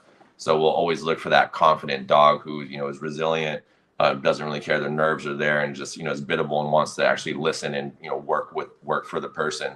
But you know we you know that's more of like the dependent side because we don't you know focus too much on like law enforcement you know we get like maybe like one or two of those a year um with you know with the request or you know if i'm doing decoy work and we'll you know sell them that way we don't deal in that we don't deal in that volume but you know personal protection dogs i'm always looking for that you know real secure dog because um, we've gotten dogs before from you know other vendors i won't ever mention someone's name in this way but we've gotten puppies and you know right out of the plane and they come out of the crate and they're just fucking they're scared as shit. They're trying to bite everything. I'm like, well, I can't do anything. And they're not biting things like in prey. They're like, I'm biting because I'm terrified or just because there's this genetic thing going on. And I'm like, well, can't sell you. So you gotta you gotta go back where you came from. But yeah, no, it's for me, it's always it's always I always look for that really strong, consistent, you know, um, nerve uh, threshold and having them under like be confident in everything. And then when it comes to like bite work, and I look at the dogs who are going to hold, you know, with puppies, depending on age they are, you know, I always look at like where they hold uh, their initial rag when they're chasing it. Um, if they're pulling back right away or if they're digging in right away, like, as you can see that at a pretty young age, um, or at least I've seen it at a pretty young age, and then just seeing like how they respond to certain things. Um, that's pretty much it for me. Thoughts, gentlemen? You know, it's almost kind of like buying a house, right? When I bought my first house, my realtor was like, "All right, you got to make a list." I didn't know shit about buying houses, man. You know, process. I'm like, list for what? He's like, what do you like? So we looked at a couple houses, and you know, then I started to get it. He's like, well, well, for me, he started noticing I'd go right to the backyard, right? I'm always looking at the backyard. I can put a kennel over here. I can they can shit over here. I can train over here. He's like, all right, so we need to put on your list for your house that that's important to you. And you know, whether it's the pet owner or you know, and that's why I got a house with really obnoxiously small freaking bathrooms, and it pisses me off because it wasn't high enough on my list. But hey, it was a good freaking yard. Um, that's what I get. Learned that one the hard way. Yeah. Um, sit in the bathtub with my knees up like this, like oh, I'm stretching out. But I got a nice backyard. Uh, That's the important part. yeah, Right. the dogs are comfortable when they take a shit. So, you know, for the pet owner or the person, you know, who's getting into working dogs, and it's like buying a house. You know, you, hopefully you can work with someone like I work with a realtor to buy a house. Hopefully, you know, I, I think right off the bat, especially pet dog owner, find a trainer first. Find a trainer first, please. It will make everything so much easier because that trainer can treat you like my realtor, you know, treated me like let's sit down, let's talk about things. You know, Nesbeth, you said make a list. You're damn right you need to make a list. And you, you- but sometimes the pet owner doesn't know enough to ask to know what that needs to be on that list. So like we all can ask that person questions that they never would have asked themselves. Yeah. You know, are you a morning person? Well, what the fuck's that got to do with anything? Oh, it's got to do with a lot. You're Freaking a puppy and you're going to be up at one o'clock, and then you're going to be up again at four thirty. You know, and you can't be in a pissy mood because that puppy's looking at you for leadership, guidance, and trust. And if you're not a morning person, well, let's think about maybe an older puppy for you. You know, things like that. Um, so uh, that's a, a good starting point, regardless of working or pet. You know, get with someone who you're going to be working with to help you identify what your needs are, what your wants, and then ask you those questions that you're not going to ask yourself. You know, in terms of what types of things might be different, I don't know because I, I really think some of these things are universal. Like a stable freaking dog, a puppy that when you pick them up isn't screaming and shitting or turning around and going batshit nuts on you. Like, how about the one who's just like, all right, this is cool, this is fair, I get it. Let's see what happens. You Yeah. know, that middle of the road puppy is is a good starting point and you can branch off from there depending on the needs of that home it's kind of a tough question to answer with any um, well all pet owners should look for this in a dog you know no because we don't know how active your home is we don't know what your hobbies are we don't know if you're a morning person um, you know definitely it's easier to say what everybody should stay away from you know stay away from the shy puppy you know, the one that hides in the corner, the only thing they're good for is virtue signaling on Instagram about how you saved this poor little puppy. Look how pathetic he looks. I'm a good person. You know, want to try to make, you know, hey, listen, there's a lot of people out there that actually give a shit what complete strangers think about them. And, you know, those people can get the shitter scared puppy that they'll end up sending to a shelter anyway. Um, but everyone else with any self-respect and decency can can work on getting a puppy that's stable and that actually has some flexibility. And at that point, we can specify with the specifics based on the needs of the owner. It's hard to make a blanket like, oh, you should look for this, you should look for that. It's probably easier with canine. I I think it, that's a much easier question to answer. Yeah. So I think at that point would- they either would have it or they don't. I mean, and Mike, how do you see this a lot too? Like the, like the the one thing I always like talk to people about, like when they're looking at like law enforcement or just like even personal protection stuff, I'm always like, do is like, there's a specific amount of temporary behavior a puppy will maintain for the first whatever 12, 14, 16 weeks of a dog's life that can dissipate. And like I've seen this a lot, like in like in Schutzhund, you know, you get these like dogs who are super crazy, and everyone everyone always uses you know fear stages, fear stages. They're going through this stuff, they're going through that. Um, but you know, I think a lot of it, especially when it comes into the bite work, you know, there's a lot of things like either the dog has like, you know, the dominant factors of what we want, uh, and we're trying to work our way through it, or they just don't have it, and we're just making excuses for it. Uh, and and that's like the one thing when it comes into like law enforcement that I've noticed, like with the selection, like we're because we don't do the large volume of things of dogs, like we're extremely selective in particular as far as the dogs that we take in and you know also age range of of that too because you know that's that point where you have dogs who are going to be you know that's protecting someone's life life or like you know could be you know an asset where it can actually be a, a liability. Yeah I, I think you know to be fair i think a lot of times those puppies that that have it really young and then it kind of dissipates i don't know if i necessarily blame the puppy or the dog yeah uh, i've seen a lot of solid dogs kind of fizzle out as they age uh, but I, i'm also a big fan of like you got to know your dog and your puppy and sometimes less is more if if we give them as a puppy, we're just so excited that we have a puppy that does good and bite stuff, and they're biting all the time. Well, what we're really doing is like letting that puppy know that hey, biting stuff's not that valuable. Like it's it, it's not a hot commodity anymore because you're just doing it every, and they just burn out. It's like a kid, those kids that um you know the parents want them to be NFL stars, and they like football when they first start, but then they're at practice seven days a week. Outside of that, they're they're running them outside and eventually kids just like bro I, screw football like i, don't know. So I, I, think that's part of the factor that that can like phase into like making dogs kind of or puppies fade out. But my number one excuse that i hate from um you know working dog kind of breeders or vent is the dog's just a slow maturer. Like it, it uh, like the to me showing certain traits isn't based off of a dog's like there are certain things that aren't based off of a dog's maturity level that I should be able to see throughout the dog's life.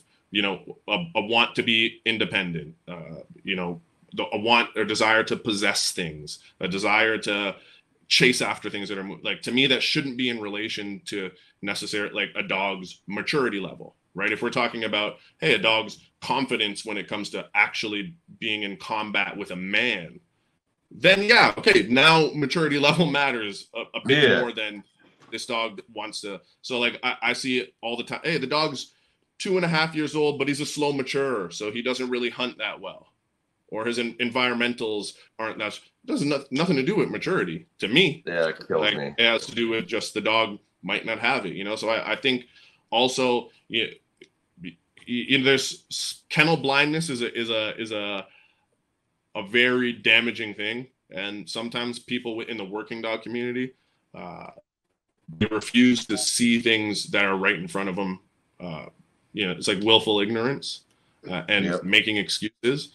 Uh, so I, I, that's my pet peeve is that maturity thing. And I'm not the guy that thinks you should be taking a, a six month old puppy and putting it on a bite suit and doing adult dog things with it. I'm not saying that, but I'm also saying maturity is not an excuse for a flat dog.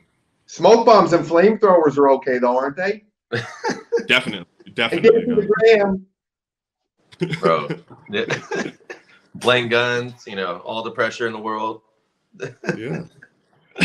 no, I, I definitely. I mean, I agree with that stuff. I mean, like, especially, you know, especially nowadays with like, you know, I think KD brought a good point when we talked like a couple questions back. Is that social media is it, has been a great thing. Like, obviously, we're together because of social media but it, it, also can be something that can be deceiving in the in the matter of like okay like you can take 15 second clip out of a video and either make someone look good or bad you know like, and, and that's the thing that i think a lot of people should do. Like for me like on our social media like every everything is transparent uh, yes please everything is transparent uh, everything is right this is i mean you guys have talked to me multiple times you know it's pretty much face value and like i've, t- I've talked to you guys a bunch of times i mean KD and i talked the other day and like we mike and i have talked before as i do is like you know, it's it's pretty much the normal stuff with it. So I mean, like that's like the big thing, like the understanding of you, know, you got to kind of have these conversations and talk to people, especially when you're looking for a puppy and making sure that you know, like you're getting exactly what you're saying because you know, like what you said, you said it's kennel blindness. Uh, there's someone else that said it, it's like you know, you look. Sometimes people look through the lens. It's like rose-colored glasses. You know, like you're always kind of looking at it like this.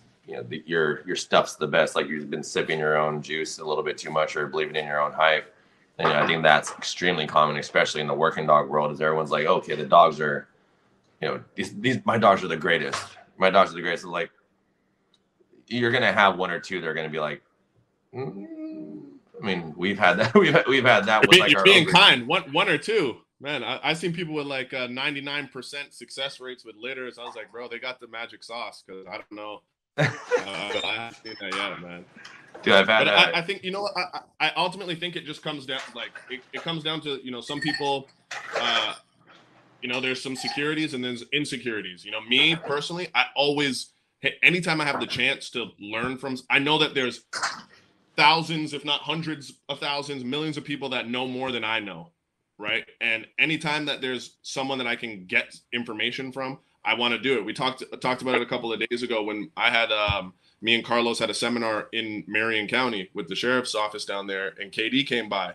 You know, after the seminar is done, we have a big. It was a decoy seminar. We have a a, a big portion of it. Um, it's about you know utilizing operant conditioning uh, in, as a decoy. Uh, you know, and if KD's sitting in the room, like my, I'm gonna try and get my my my dues right. So as soon as everything's done, everyone clears. I was like, KD, where did we fuck up? What do we need to fix? Like, help me, man. He offers feedback, you know, anything that I could do for KD or you, I, I, you know, it's the same thing. I don't have all the answers, but where I'm like, hey, you know what? Touch on this a little bit more. You know, expand on this. I don't know if it's sunk in too well, and you know, we make those adjustments and and, and move forward. Oh, definitely, man. That's a. We got. I got. It's funny. So I'll, I'll give you like an example. So we did our first litter um, with a devil and a dog we had named Six, uh, and I, I'm sure you guys have probably heard this, but like you know, Devil doesn't.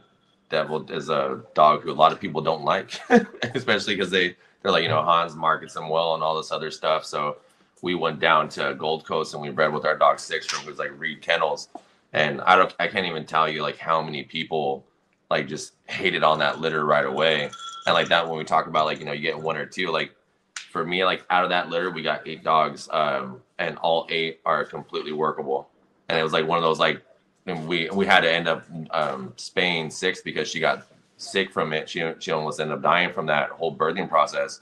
But we got lucky on that. You know, like that was like one of the things. I Was like down was like all of them. Like Gary, um, he's actually works for Las Vegas Metro PD, and then we have Ozzy out of them. Our dog Lucy, you know, she's a bit weird, but when it comes to or, or the depending on like what you said like the list you know the list of things that you want from a dog. I mean those all dogs had like that list that we needed.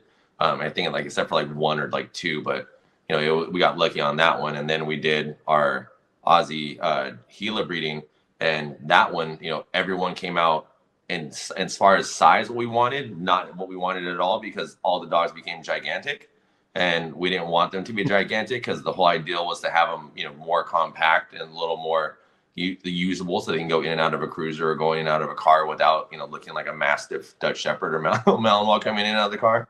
Um, and then you know, I have all, all of them, you know, came out pretty much what we wanted. I, I just have, and I have Zilla, you know, Zilla, who he looks great and he does his bite work and everything like that, but he's probably like the friendliest fucking dog like in the planet. Like he's a lab with a Dutch body and like he just like if he came to the house like we can do sport work with him and he's going to be great but he's not going to have that civil edge that we wanted so you know it's always like that expectation thing let's see here all right mike i think you're uh you're next on the questions All right. Um, what do I got here? All right, this one will be. I don't think we talked about any detection stuff. So we have um, from Josh Rowe on Instagram. Um, your thoughts on handler cueing impacting a solicited final response from the canine? so that would be direct direct reward to the actual thing as far as uh I think I think it. The question is just how much uh, handlers. How can handler cueing affect a final response um, in detection work? I, I believe is what the i- intent of the question is. so i i first before we even Well, i'm literally. he's out of here. On, on that note, he was like, "I'm out of here." no, my my phone's always fucking. I get so many questions on this thing, but uh, so for me, like I don't, I detection is not my thing. Like I, I understand the really basics of it, um, and like how to build it and like all this other stuff. But as far as you know, going into detail, so like I'll give you like, I think like anything handler based as far as indication. You know, I, I think it can like what you said, like Mike too, is like you know the independence. It takes away the independence, the drive to want to do it if it's being pushed by the handler. Um, but you know, like I said, I mean, detection for me is like you know I have I have the literally the caveman uh, way of learning of it, and you know that's kind of where I've I've I've learned it. But I know if a dog is too reliant on the actual handler to cue the responses, I it does like take take away from the actual detection aspect of it and the identification of it because they're constantly being like, "What the fuck do you want me to do? What do you want me to do?" and not really uh, pushed into the actual like learning and trying to get the actual scent. Something like that for me would be like my answer. But again, my uh, my uh, scale on that is my scope on that is like nothing, zero. Yeah, same with me. It's theoretical. It's it's a it's something on my list to do. Um, now my I, I definitely have an answer for it. You know what I mean? Um, but it's just not an answer based on me training hundreds of detection dogs. It's my answer based on, you know, being a student of this damn craft and having been very privileged to be around some of whom I consider and who those in the know consider to be some of the best to ever teach a dog how to hunt there is. Um, kind of defeats the purpose if the handler's cueing them. Like, let's just, I mean, and, and you don't have to have trained a, a damn odor dog to, to be able to understand this concept that the last thing you need is a handler going through pointing to everything in front of the dog. Like last time I checked, dogs were pretty good at hunting. It kind of has something to do with how we realized that we wanted them in our lives over 15,000 years ago. Um, we just kind of let them go out and use that nose thing and find shit and then tell us where it is. And then we went and killed it and ate it. You know, I don't, you know, I don't think when you go back to you know, pre-agricultural revolution, Paleolithic human canine relationships, they weren't out there going, is this a mammoth? Is this the mammoth? Is this the mammoth? Is this, wait, wait, whoa, whoa, over here? No, they let the dog do it. So to look at handler cues, never mind the massive field day that a defensive turn a defense attorney is going to have if we're talking law enforcement and and and starting to nitpick apart that training with you know how much input did the handler have on that dog's indication that resulted in a possible Fourth Amendment, you know, yeah, gosh, it just opens up a huge door that I'm not qualified to talk about other than posing the question for discussion or chiming in a little bit. Handler cues, man, let the dog go hunt, damn it. Yeah, yeah. I, I, I, I agree with uh, KD and Mike there. I um, you know, there's uh have you guys heard of Clever Hans before? The horse, Clever mm-hmm. Hans. Yeah. Yeah. So yeah. if you if for the, the, listeners, if you haven't listened to or, or heard about it, quick Google search. There's something called the Clever Hans effect, um, and pretty much it's about unintentional cues that were made to this horse. Uh, it's actually a pretty cool story. I'm going to it, so I'm not even going to tell it. But it's about this horse that was reading its handler and actually other people that were around and receiving cues and doing pretty complex mathematical equations based off of it. Uh, and this is with an unintentional cue happening. So they weren't trying to cue this horse. They didn't know uh, that the horse was even picking up on them. So I think if we know as a handler uh, where a hide is or where we want our dog to search specifically, we can try our best to act like we're not cueing the dog, but we're giving them cues. They're they're it's happening. You know, there's things that are out of our control. Uh, you know, at, our pace might slow down ever so slightly when we get close to that source. Uh, you know, things like we might hold our breath really quick when they get there, and, and the dog's picking up on all of these things. You might not be aware of it, but they're picking up on it. You know, simple things like, hey, if if you're a handler, guaranteed this happens in your training if you're not conscious of it. If you know where that hide is, you get into the room and you look where the hide is. You'll stand, you'll be on the other side of the room, but you're going to stare at where that hide is over there. And if you don't believe me, make the let there be a hide in the room and face the other way and watch. Let's see what your dog does offline. Don't look the hide, have the hide behind you and look at the other side of the room. If your dog hasn't been exposed to this, he's probably only going to continue to search in front of you where it's not what we want them to do. Um, so I think handler cueing is a huge problem. If you're doing it to try and teach your dog, you know, the right indication that you want, I think that you jumped ahead of steps and you shouldn't even be involved in that picture. I think your dog should know what indication is. And when odor's there, let your dog work independently. The biggest thing to help you with battling handler, handler cues is double blind searches where you don't know where the odor is and someone else does know where the odor is. Um, and go about that. Obviously, using a marker system would make it way easier than trying to throw a ball there on time because obviously that builds handler cues as well, right? The dog gets close to where the source is and you reach for your ball and the dog, oh sh- okay I'm, I'm, I'm close it must be around here somewhere right um, the other thing you don't have the the chance to have someone helping you with those double blind hides uh, buy a baby monitor they're pretty friggin cheap put it in the room where uh, you know in a corner where the hide is uh, adjacent to the hide or so you can view the entire room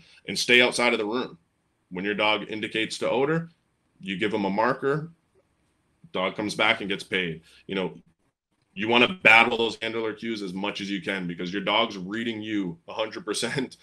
He's looking at you and he's noticing things. So if, when it can be controlled and it's in a training scenario, let the dog work and you stay out of the way. Definitely. That would be mine. I would say Mike Mike would be the the, the one on that one to give the definitive answer. uh, I did um or one of my trainers uh, he went to one of Cameron Ford's um, seminars, um, and because we work like you know mostly with like personal protection and dogs who are going to be like super I like basically IDing and filling off like the handler. You know that was the one thing I think like and Carlos had actually worked him too. Uh, his name is Sid, but um like you can tell like he wasn't like he was just he but for Matt what told me like he was just kind of like waiting for that direction because of like how he was trained for those cues. And like you see it like a lot I see a lot in like an obedience like just the fact that like you know when we tell dogs like when I tell my clients you know tell your dog to down they do like this.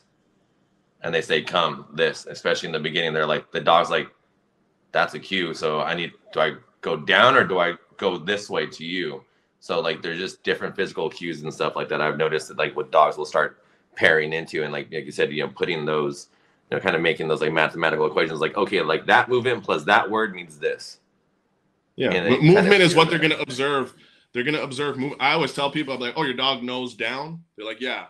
And I was like, all right, hold the food in your hand and say down and lift the food up. Yeah. So let's see what your dog down. The dog boop, goes into a sit. I'm like, he knows what you're doing with the food. He doesn't know what what the words are, right? So like that physical, you know, communication to them is the easiest thing for them to pick up. So when we go into detection work, we have to be aware of that because that's going to be something for us to battle, right? We don't want them to be reading us. They're they're with us because they're really good at reading us and manipulating us, right? That's why yep. they're here. That's why they're with us. So we have to be, you know, cognizant of that and, and you know set up proofs to, to, to make sure that that's not part of the picture that we don't want them to have.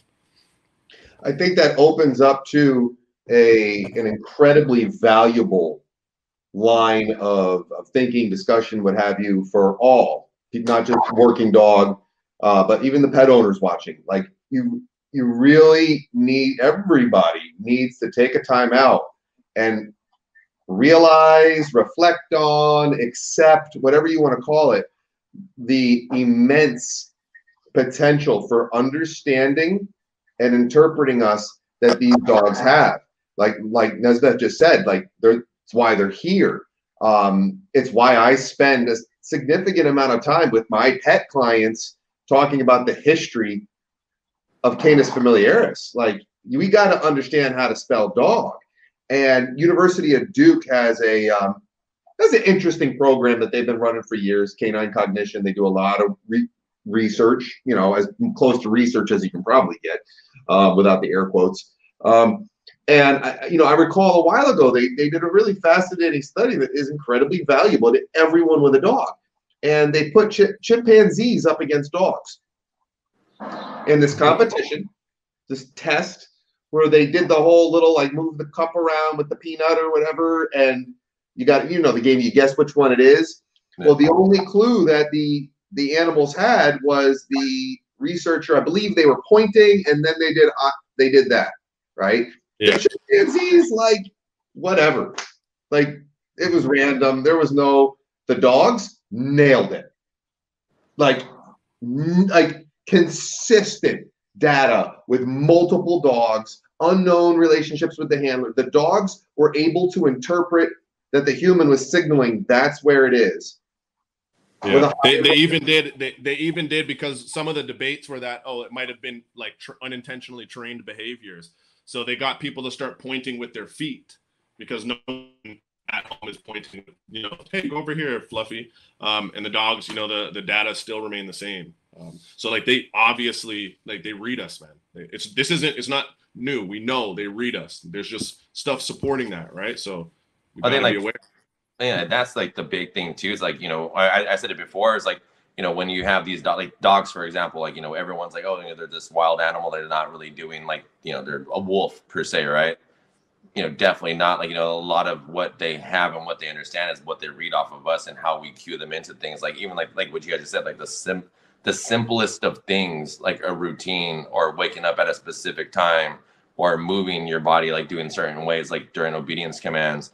And like you know what you guys just described when it comes to like nose work and finding things like you know that stuff they're cueing in. So i mean they're they're watching and they're and they're learning you know as we go through it. You know like that's why you know the the clicker systems and like the, the consistent marker systems are really important. And i think that ties into another thing where when we start over vocalizing you know praise or just like over vocalizing you know repeating commands and doing all this other stuff you know it starts to lose value and the dog starts to like you know get a little more confused by the more we add that into it because they are consistently watching they are consistently like what the fuck did you need me to do? Like what, what, what was that? I just heard a bunch of blah blah blah blah blah like, i didn't get the actual note of what to do.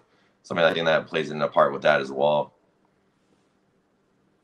No, definitely. And, and you know, the more the more you talk, the less they hear, right? The Yep. more, the more you're saying, like, okay, sound doesn't matter. Let me look at what you're doing because obviously it's just white noise, right? Isn't So- that what oh, marriage is? Yeah, that's why I know. Oh, Mike, Mike laughed again. Oh, Mike. he pleaded the fifth. He turned his camera off. I, that's the best part about that is that i'm divorced so like yeah so i, I, I feel that lesson um let's see. Uh, is it nesbeth? No nesbeth you just won right? So it's my Oh, turn on the you, buddy. questions all right let me find one here. So this one's from operant canines. Uh what is your opinion on puppies burning out from being overworked? Oh, You're, you just Nesbeth. said that.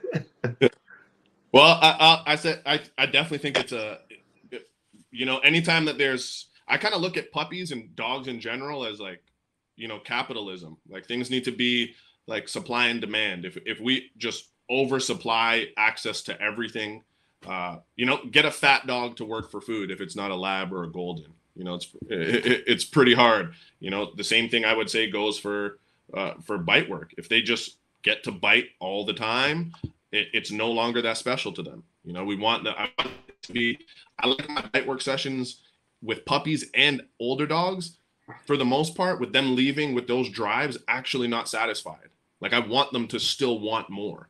If if, if we're always hundred percent satisfying those drives, and it's not that special, man. If if I'm if I'm a millionaire and there's two dollars on the floor, I might just walk past and not pick it up. If I'm homeless and there's two dollars on the floor, I'm pick like it's really valuable to me, right? Perspective. i'm picking that up that it that it, it it definitely. But there's also the other side of identifying again what your criteria is for that puppy, right? Do you want a lot of horsepower? Do you want that dog to be go mode every time you take him out, or do you want that dog to kind of get drive satisfied and and be a little calmer?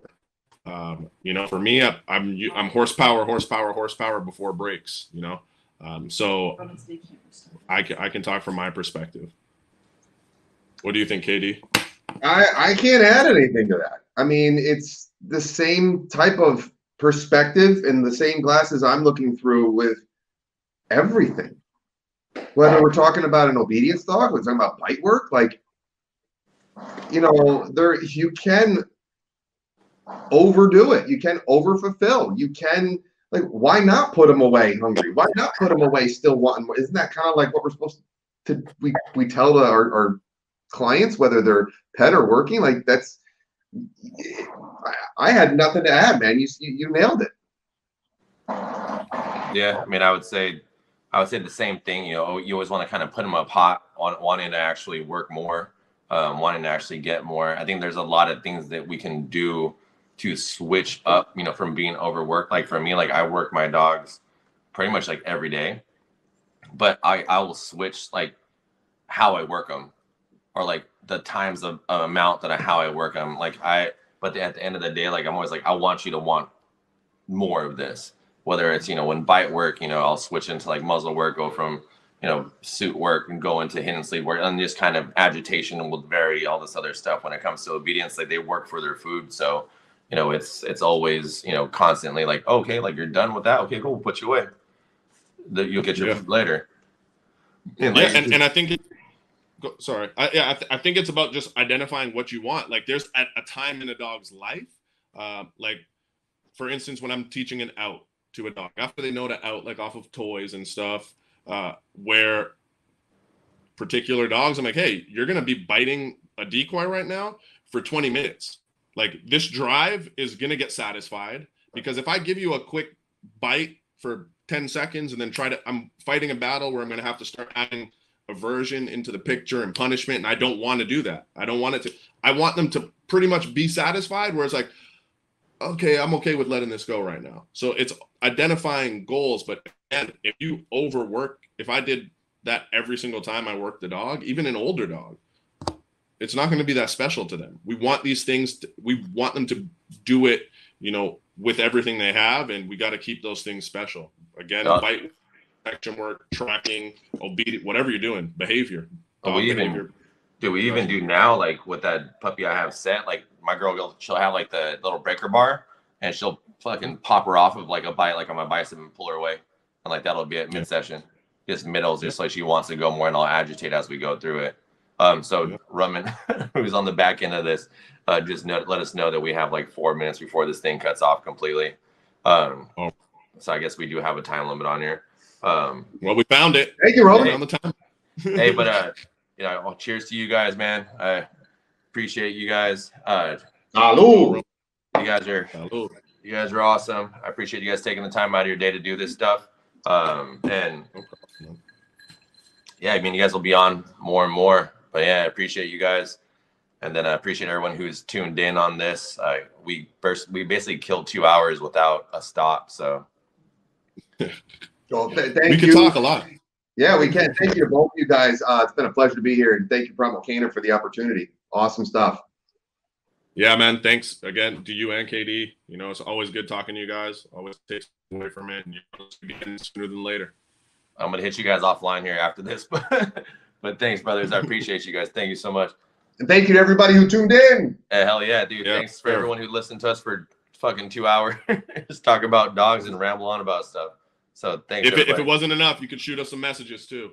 Hell yeah, hit up KD, hit up fucking Mike. Um, you know, Grassroots K9 KD on Instagram. Uh, hit these guys up. I mean, if people who are following me and haven't necessarily uh, heard these guys yet, these guys are you know top of the line dog trainers and just you know people coaches and everything like that. These are great people to work with. So make sure you guys hit these guys up. You know, best in the business. So appreciate you guys. All right. Appreciate it, man. Later, Have a guys. good one.